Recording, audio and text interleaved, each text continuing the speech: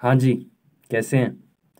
और right so in today's video I want to share with you the story a real life story of mine as to how I got my first corporate job in Poland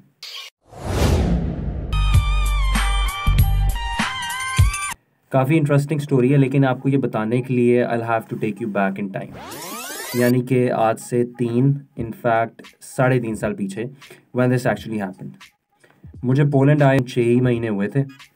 और मैं second semester अपना start कर चुका था Warsaw school of economics में। Semester थोड़ा सा tough था क्योंकि मैंने कुछ ज़्यादा ही कोर्सेज उठा लिए थे, जिसकी वजह से मेरी क्लासेस सुबह आठ बजे से लेके कुछ दिन चार बजे तक होती थी। अब ये एक ऐसे ही दिन की स्टोरी है।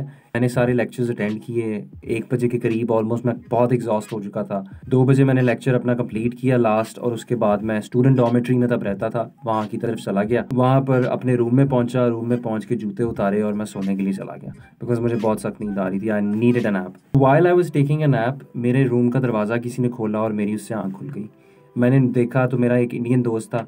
जो मेरे रूम में एंटर हुआ। मैंने नोटिस किया कि वो काफ़ी तैयार शेयर होके आया था। He was all suited and booted which was not something uncommon because हमारी प्रेजेंटेशन होती थी यूनिवर्सिटी में। कुछ लोग जॉब इंटरव्यू के लिए जाते थे तो ये used to be all dressed up but मैंने ऐसे आउट ऑफ़ क्यूरियोसिटी उससे पूछ लिया कि वो कहाँ जा रहा है। तो उसने मुझे बताया कि वो एक वर्कशॉप अटेंड करने जा रहा है। कोई मल्टीनेशनल फर्म है फाइनेंशियल सर्विसेज़ सेक्टर से आई हुई है यूनिवर्सिटी में, और वो कोई वर्कशॉप डिलीवर कर रहे हैं। वर्कशॉप भी कोई अनकॉमन नहीं है। क्योंकि आए दिन कोई ना कोई कंपनी यूनिवर्सिटी में आई रहती थी, जो कि अपनी पोटेंशियल वर्कफोर्स को अट्रैक्ट करने के लिए आते थे, हमें वर्कशॉप्स डिलीवर करते थे so that eventually when students would look for a job and an internship in the market तो they would have those companies in mind तो this was just another workshop of such nature तो मैंने, क्योंकि कभी इस company की workshop attend नहीं की हुई थी तो आई जस्ट आस्ट इफ़ कोई इसके लिए प्री रजिस्ट्रेशन या साइन अप करना रिक्वायर्ड था तो उसने मुझे बताया कि ऐसा कुछ भी नहीं है। First come first serve basis पे है। जैसे ही मैंने ये सुना तो मैंने डिसाइड किया कि मैं अभी इस वर्कशॉप में जाता हूँ, इसके साथ ऐसे ही। तो मैं जल्दी से ड्रेसअप हुआ। ड्रेसअप होकर हम यूनिवर्सिटी की तरफ़ भागे। वर्कशॉप ऑलमोस्ट स्टार्ट होने वाली थी। वहाँ पर पहुँचे, एक लेक्चर हॉल था, जहाँ पर वर्कशॉप कंडक्ट की जा रही थी। हम उस लेक्चर हॉल में गए तो I saw a gentleman and two ladies they were all nicely dressed up in their corporate attire हमने देखा तो कुछ सीट्स खाली थी।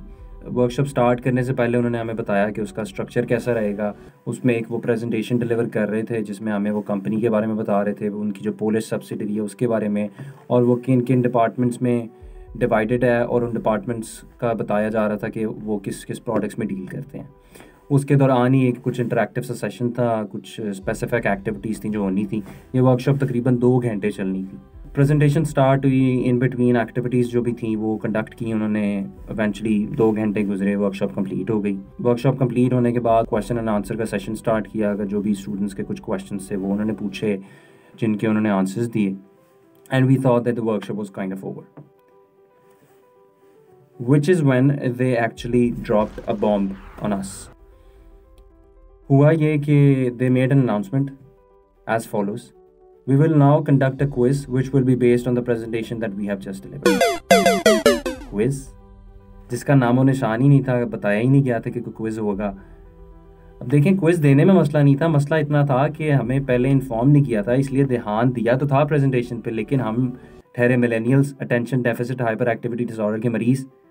तो that was a problem for us तो जैसे ही उन्होंने ये बोला है I noticed some people started leaving the room अब मेरी उन पर जब नज़र पड़ी तो I also for a moment thought कि आई शुड जस्ट गो लेकिन फिर the very next moment I thought कि be I should stay next time कभी इस कंपनी की वर्कशॉप अटेंड करेंगे तो एटलीस्ट पता तो होगा ये किस तरह का क्विज कंडक्ट करते हैं। Next time there be a higher chance to get through this quiz अब जैसे ही uh, कुछ लोग चले गए और ये सब थॉट्स मेरे माइंड में चल रही थी they made the following announcement which was actually about the reward of the quiz So the announcement was as follows. The top three scorers of the quiz will get an opportunity to skip the first step in our recruitment process. अब यहाँ पर होता ये है कि जब आप job के लिए अप्लाई करते हैं, आप ऑनलाइन जॉब ढूंढते हैं, अपना सारा डाटा इनपुट करते हैं एजुकेशनल बैकग्राउंड वर्क एक्सपीरियंस और अपनी सीवी अपलोड कर देते हैं अब ये सारा डाटा आपका एक सिस्टम से होके जाता है ऑटोमेटेड सिस्टम अपनी जॉब क्राइटेरिया के साथ आपकी सीवी को और डाटा को मैच करता है और अगर उस सिस्टम को लगता है कि आप कहीं से भी सूटेबल कैंडिडेट होंगे इस पोजीशन के लिए तो ही वो सेकंड स्टेप पे आपकी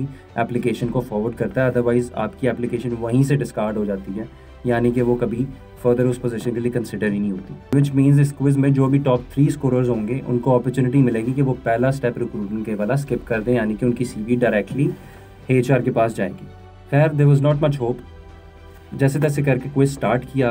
कुछ बेसिक फाइनेंस की जो बैकग्राउंड नॉलेज थी और कुछ गेस लगा के मैंने क्विज़ वापस हैंड ओवर कर दिया उन्हें। उसके बाद उनके कंक्लूडिंग रिमार्क्स सुने थोड़ी सी नेटवर्किंग की वर्कशॉप के एंड पे और मैं अपने दोस्त के साथ इवेंचुअली डॉमेट्री की तरफ़ दोबारा चला गया। अब रास्ते में we were cursing them in a way कि पहले नहीं बताया बता दिया होता तो क्विज़ थोड़ा अच्छा हो जाता।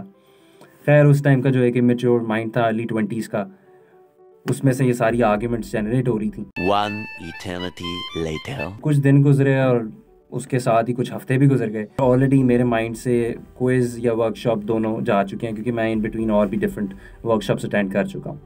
अब एक दिन मैं बैठा हुआ था अपने रूम में तो फ्राइडे का दिन था, मुझे आज भी याद है। शाम को तकरीबन चार बजे के करीब मुझे एक email I and I was astonished to see this email because मुझे यकीन ही नहीं हुआ। सबसे पहला मेरा रिएक्शन ये था कि मैं अपने दोस्त के पास गया, उसके रूम में, और मैंने उससे पूछा कि उसको कोई ईमेल आई है कि नहीं।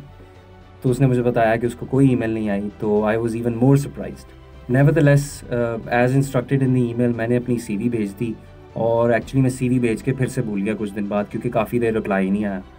And then one day I get this call from H R उन्होंने मेरे से बेसिक कुछ मोटिवेशनल क्वेश्चन पूछे और फिर उन्होंने एक इंटरव्यू शेड्यूल कर दिया. और इवेंचुअली फिर इंटरव्यू शेड्यूल होने के बाद मैं इंटरव्यू देने गया. Interview went really well and a few weeks later i got a call that i've been selected for the position of an intern and back in 2017 i started working as an intern and now it's been three years that i have been working in the financial services sector in poland आज भी जब मैं दिन के बारे में सोचता हूँ तो आई ऑलवेज थिंक कि मेरा क्विज़ वाकई इतना अच्छा हुआ था या बाकियों का क्विज़ बहुत बुरा हुआ था that I ended up among the top three scorers Nevertheless, uh, that is something I can't know, but there's one thing I know for a fact that had it not been for my curiosity of going to that workshop, I probably would never had increased the odds of me getting that internship. So I hope this story helps inspire you to remain curious and keep trying so that you can also increase the odds of achieving things that you ought to achieve in life. On that note, video पसंद आई तो like कर दीजिएगा share भी कर दें and last but not the least do not forget to subscribe to the channel because there is still a lot more to come you gonna do to me, oh? I need to hear some more rapping. I'm just not impressed by your cash and your jewelry, oh? All you my soldiers and I'm a lieutenant? God damn it, you should be saluting me, oh? I hope you know I ain't going nowhere.